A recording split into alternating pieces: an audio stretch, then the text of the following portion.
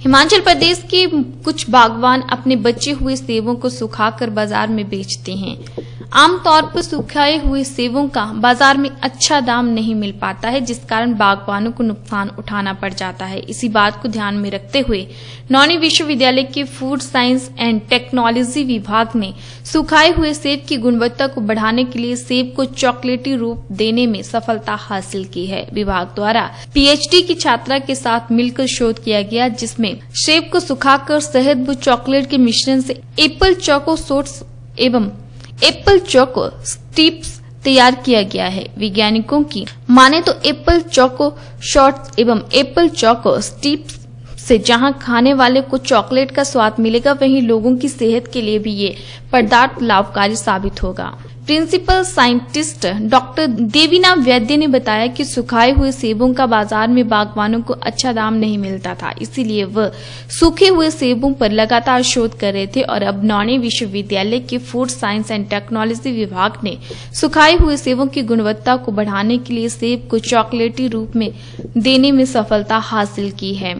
विभाग द्वारा पीएचडी की छात्रा के साथ मिलकर शोध किया गया, जिसमें सेब को सुखाकर शहद व चॉकलेट के मिश्रण से एप्पल चौको, शॉर्ट्स एवं एप्पल चौको स्टीप्स तैयार किया गया है। उन्होंने कहा कि स्वयं सहायता समूह और बागवान अगर इस विधि को अपनाते हैं तो वह अपनी आय को बढ़ा सकते हैं।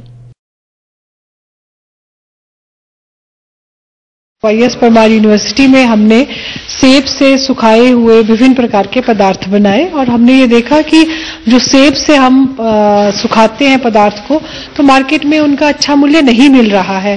इस बात को ध्यान में रखते हुए हमने विभिन्न प्रकार के पदार्थ बनाए और हमने पाया कि जो अगर हम सेब को सुखा करके चॉकलेट के साथ उनका एप्पल चॉको शॉर्ट्स और एप्पल चॉको स्ट्रिप्स अगर हम बनाते हैं तो ये हमारे जो सेल्फ हेल्प ग्रुप है या कोई और भी समूह इसको अपनाना चाहता है व्यवसाय के रूप में तो सेब से सुखाए हुए पदार्थ के लिए एक नया उनके आमदनी का आयाम स्थापित हो सकता है। जो एंटीऑक्सीडेंट्स हैं सेब में, वो भी बरकरार है और उसके साथ साथ बच्चे भी उसको बड़ी खुशी के साथ खाएँगे। उन्हें यह लगता है कि हम चॉकलेट खा रहे हैं, लेकिन बीच में उनमें हम फल भी दे रहे हैं। तो हमने चॉकलेट की गुणवत्ता को भी बढ़ाया है। साथ साथ में ही सेब की गुणवत्ता तो है ही है, जिसका कि हमने मॉनिटरी और उसमें न्यूट्रिशनली उसको बढ़ाया है।